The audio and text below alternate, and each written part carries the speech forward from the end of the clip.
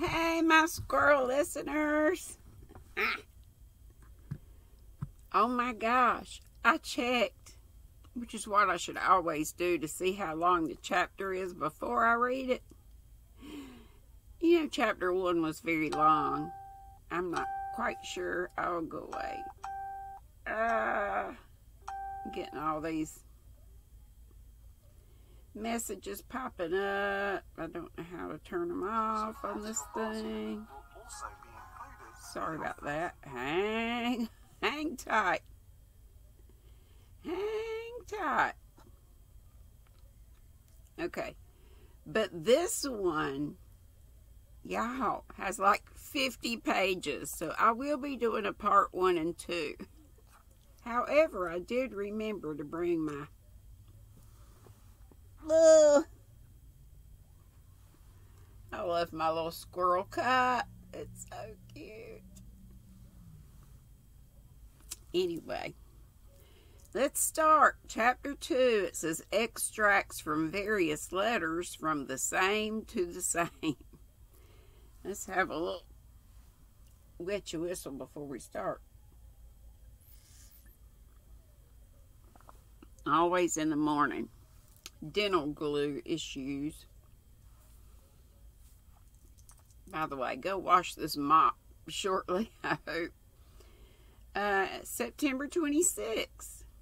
Do you know where I go to read your letters? Across the road into the grove. There's a little dale there where the sun dapples the ferns. A brook meanders through it. There's a twisted mossy tree trunk on on which I sit, and the most delightful row of young sister birches. After this, when I have a dream of a certain kind, a golden, green, crimson vein dream, a very dream of dreams, I shall please my fancy with the belief that it came from my secret dale of birches and was born of some mystic union between the slenderest, airiest of the sisters and the crooning brook. How poetic she is. I love to sit there and listen to the silence of the grove. Have you ever noticed how many different silences there are, Gilbert? The silence of the woods, of the shore, of the meadows, of the night, of the summer afternoon. All different because all the undertones that thread them are different. I'm sure if I were totally blind and insensitive to heat and cold, I could easily tell just where I was by the quality of the silence about me. School has been keeping for two weeks now, and I've got things pretty well organized. But Mrs. Braddock was right. The Pringles are my problem, and as yet I don't see exactly how I'm going to solve it in spite of my lucky clovers. As Mrs. Braddock says, they are as smooth as cream and as slippery. The Pringles are a kind of clan who keeps tabs on each other and fight a good bit among themselves, but stand shoulder to shoulder in regard to any outsider. I have come to the conclusion that there are just two kinds of people in Summerside those who are Pringles and those who aren't. Haves and have nots.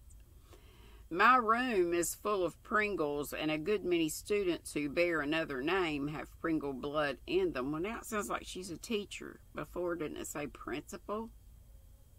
Maybe I read that wrong. The ringleader of them seems to be Jen Pringle, a green eyed bantling who looks as Becky Sharp must have looked at 14. I believe she is deliberately organizing a subtle campaign of insubordination and disrespect with which I am going to find it hard to cope. She has a knack of making irresistibly comic faces, and when I hear a smothered ripple of laughter running over the room behind my back, I know perfectly well what has caused it. But so far I haven't been able to catch her catch her out in it.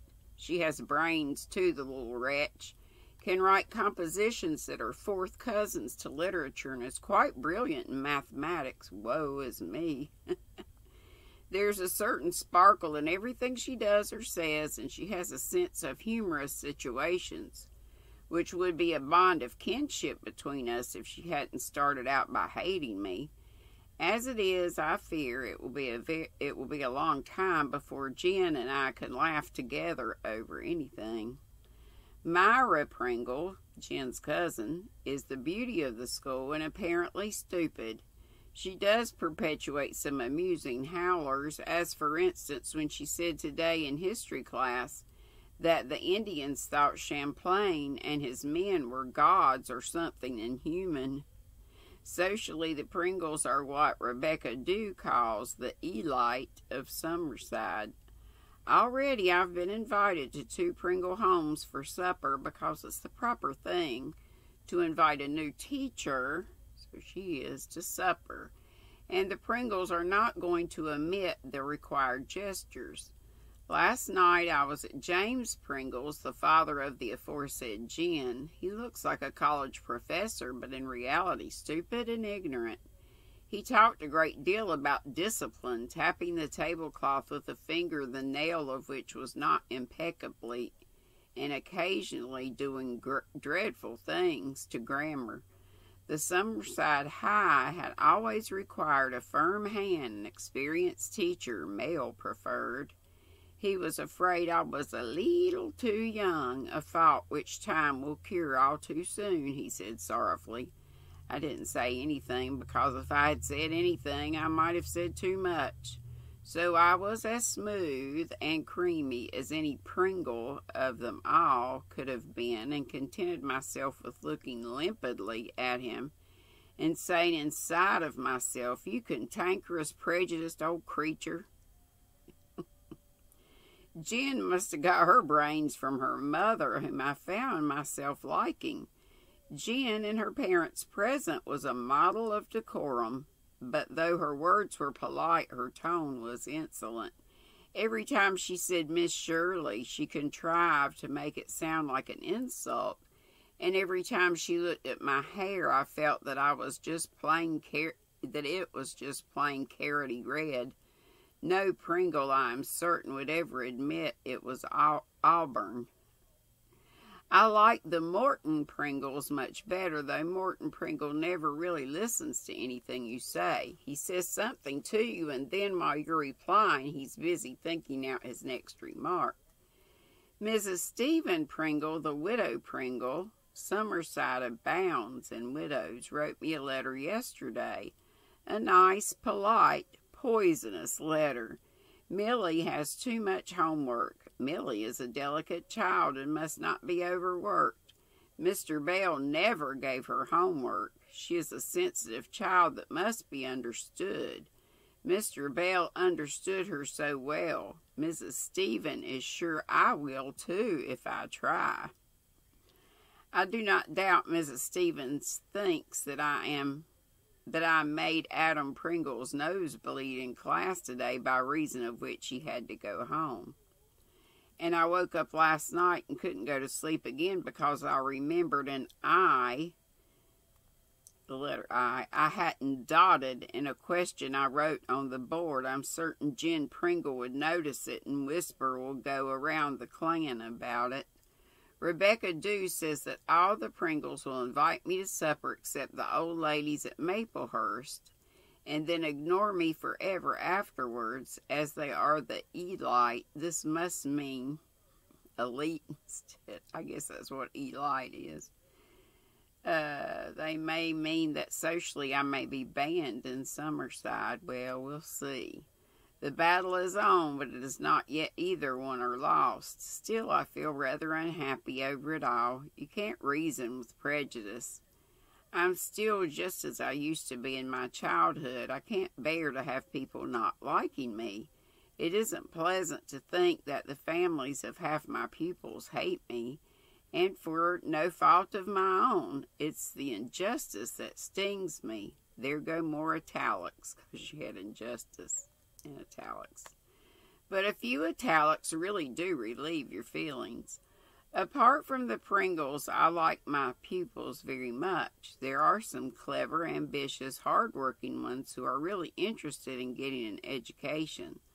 Lewis Allen is paying for his board by doing housework at his boarding house and isn't a bit ashamed of it. And Sophie Sinclair rides bareback on her father's old gray mare six miles in and six miles out every day. There's pluck for you. If I can help a girl like that, am I to mind the Pringles? The trouble is, if I can't win the Pringles, I won't have much chance of helping anybody. But I love Windy Poplars. It isn't a boarding house, it's a home and they like me. Even Dusty Miller likes me, though he sometimes disapproves of me and shows it by deliver- deliberately sitting with his back turned towards me, occasionally cocking a golden eye over his shoulder at me to see how I'm taking it.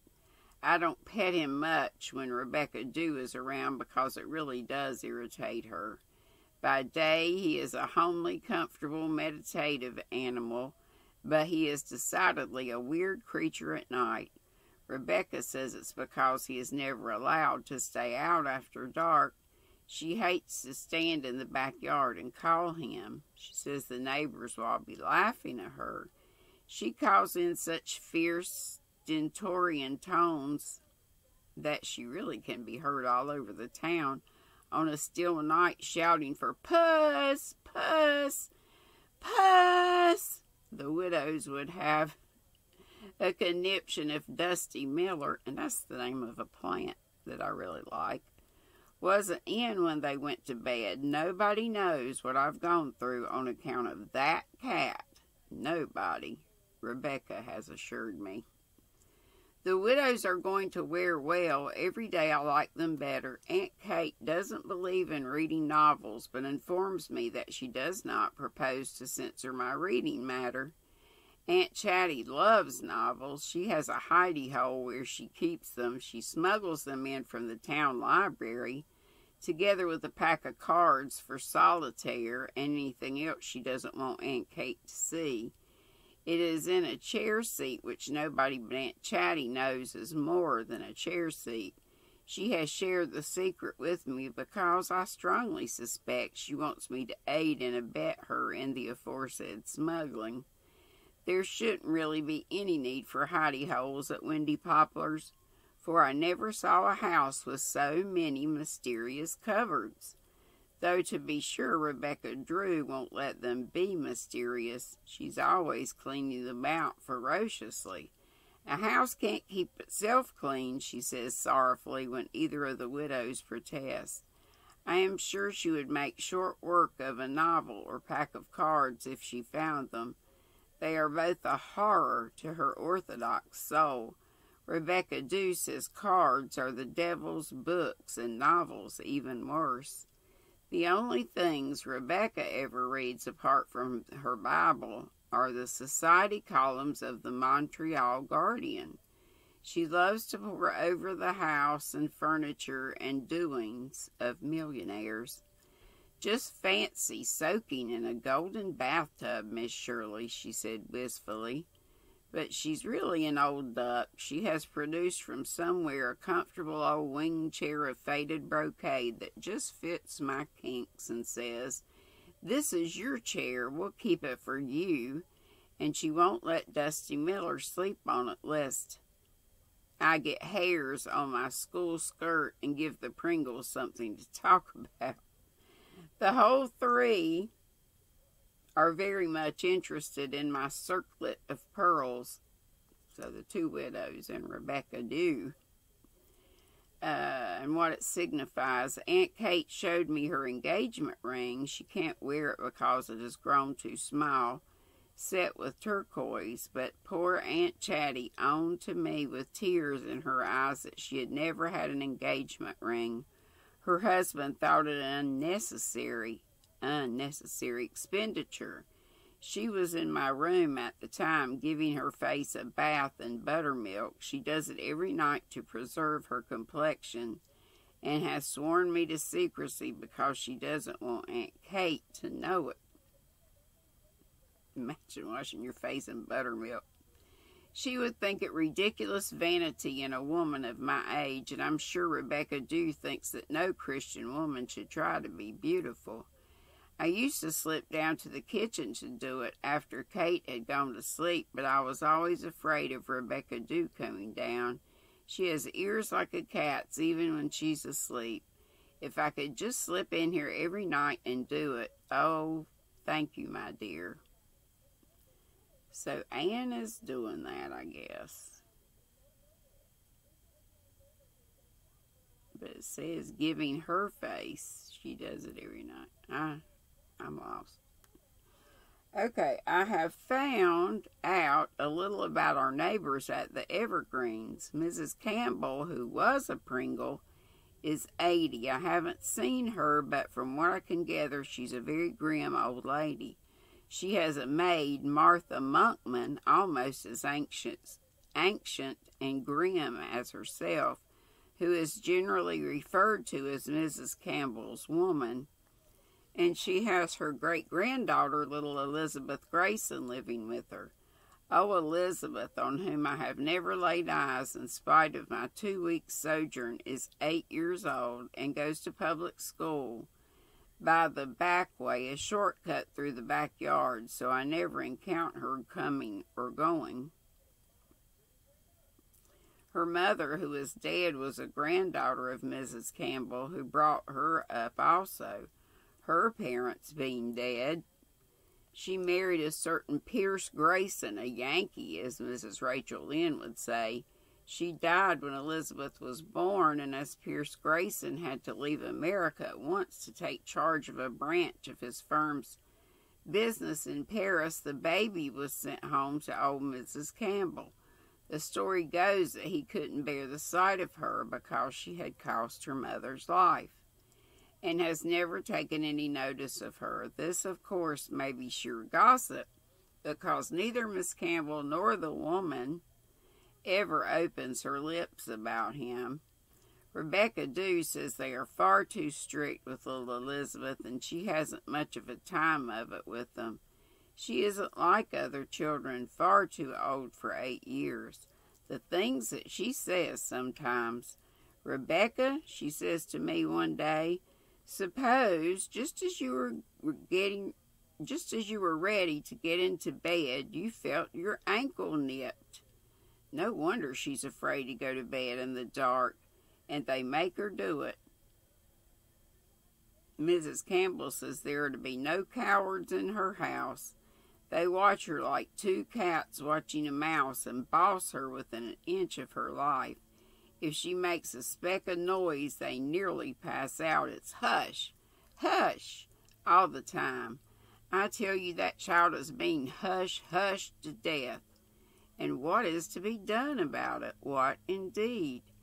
I feel that I'd like to see her. She seems to me a bit pathetic. Aunt Kate says she is well looked after from a physical point of view, what Aunt Kate really said was, they feed and dress her well, but a child can't live by bread alone. I could never forget my, what my own life was before I came to Green Gables. I'm going home next Friday evening to spend two beautiful days in Avonlea. The only drawback will be that everybody I see will ask me how I like teaching in Summerside.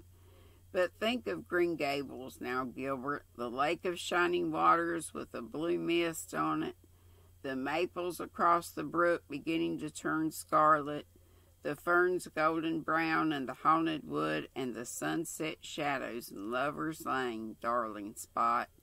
I find it in my heart to wish I were there now with, with, guess who? Do you know, Gilbert, there are times when I strongly suspect that I love you. Thank goodness she admits it.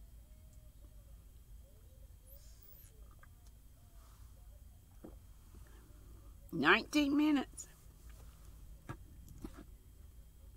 Windy Poplars, Spooks Lane, Seaside, October 10th.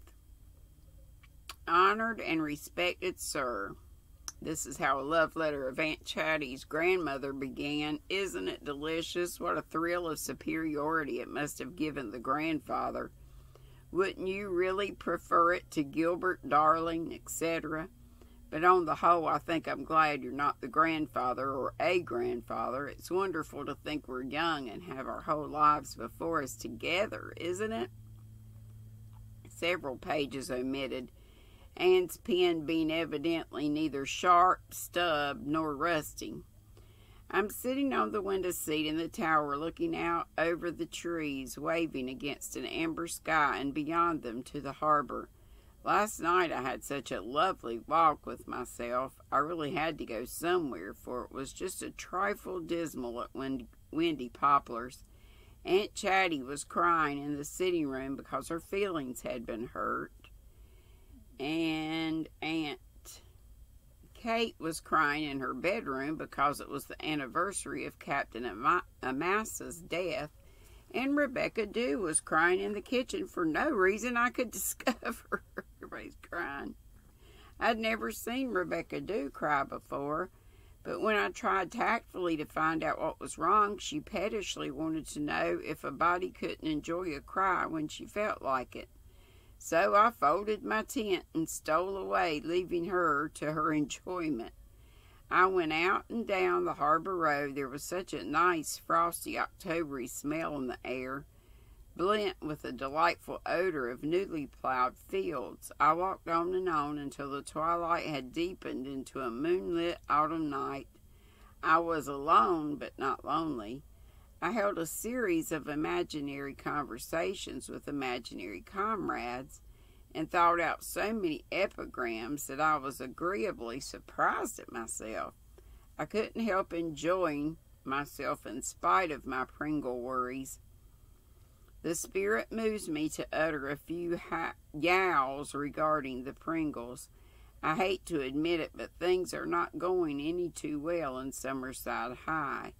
There is no doubt that a. Mm, CABAL has been organized against me. Cabal. Let's look that up. Oh, come on. Oh, I hate it when it does this. Come on. Let me look that word up. Let's see cabal, maybe. A secret political clique or faction. Okay. How weird. Okay, for one thing, Homework is never done by any of the Pringles or half Pringles, and there is no use in appealing to the parents. They are suave, polite, evasive. I know all the pupils who are not Pringles like me, but the Pringle virus of disobedience is undermining the morale of the whole room. One morning I found my desk turned inside out and upside down. Nobody knew who did it of course, and no one could or would tell who left on it another day the box out of which popped an artificial snake when I opened it. But every Pringle in the school screamed with laughter over my face. I suppose I did look wildly startled. Jen Pringle comes late for school half the time, always with some perfectly watertight excuse, delivered politely with an insolent tilt to her mouth. She passes notes in class under my very nose. I found a peeled onion in the pocket of my coat when I put it on today. I should love to lock that girl up on bread and water until she learned how to behave herself. The worst thing to date was the caricature of myself I found on the blackboard one morning, done in white chalk with scarlet hair. Everybody denied doing it, Jen amongst the rest, but I knew Jen was the only people in the room who could draw like that. It was done well. I nose, which you know has always been my one pride and joy, was humpbacked, and my mouth was the mouth of a vinegary spinster who'd been teaching school, a school full of Pringles for thirty years. But it was me. I woke up at three o'clock that night and writhed over the recollection. Isn't it queer the things we writhe over at night are seldom wicked things, just humiliating ones?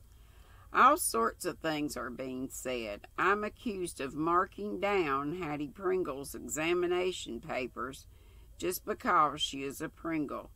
I'm said to laugh when the children make mistakes. Well, I did laugh when Fred Pink Pringle defined a centurion as a man who had lived a hundred years. I couldn't help it.